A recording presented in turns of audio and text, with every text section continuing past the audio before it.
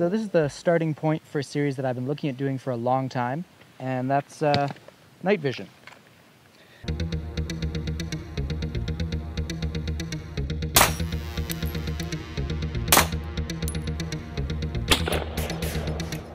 Uh, in the past, I've worked at various companies selling night vision in a couple of different contexts. Uh, and now that I'm no longer doing that, I want to talk about it in a more general sort of introduction kind of way without the pressure of a sale. So in this series, I'm hoping to go from broad to narrow. We're going to start with some really basic fundamentals on what night vision is, how it works, and some comparisons on what you get for your money. Uh, and then we'll go into some more detailed stuff as far as specific brands, specific devices, and uh, using them all together. I'm building a bunch of companion videos that'll branch out from this one, but let's start with the biggest choice. There are two key technologies that make up night vision, image intensifiers and thermal detectors.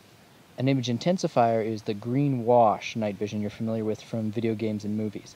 It takes a tiny amount of existing light and amplifies it into something that your eye can use.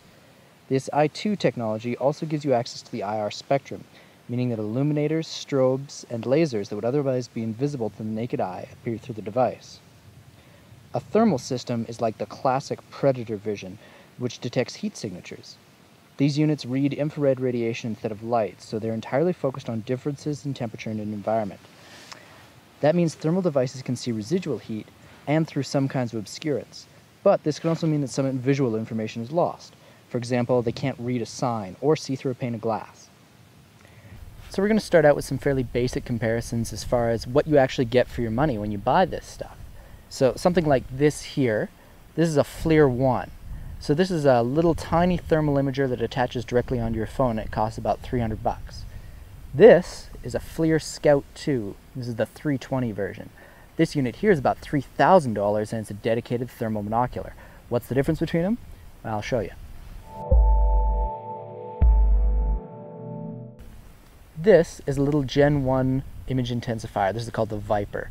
There's lots of other little guys like this from all kinds of manufacturers that all sit in and around that $300 mark. Whereas this is a PVS 14. It's a Gen 3 military monocular and it's standard around the world. These will run anywhere from 2,000 to $6,000 depending on your make and model. What's the difference? Well, let's see. So you know your stuff and you're serious about working in the dark. What's the next step? This is where we start to look at different helmets, different mounts, different particular equipment, and how it all works together. In the world of night vision, there are lots of different ways to achieve essentially the same goals with different sets of gear. And so the final point is integration, both with thermal technology and I2 technology, and using all those different things together, and with other people. Whether you're hunting or in security context or in a legitimate military context, it's unlikely that you'll be using night vision alone. In the past, a lot of this stuff was government specific. They were the only people with the pockets deep enough and the people out there doing stuff in the dark. But nowadays, there's all kinds of applications for night vision equipment.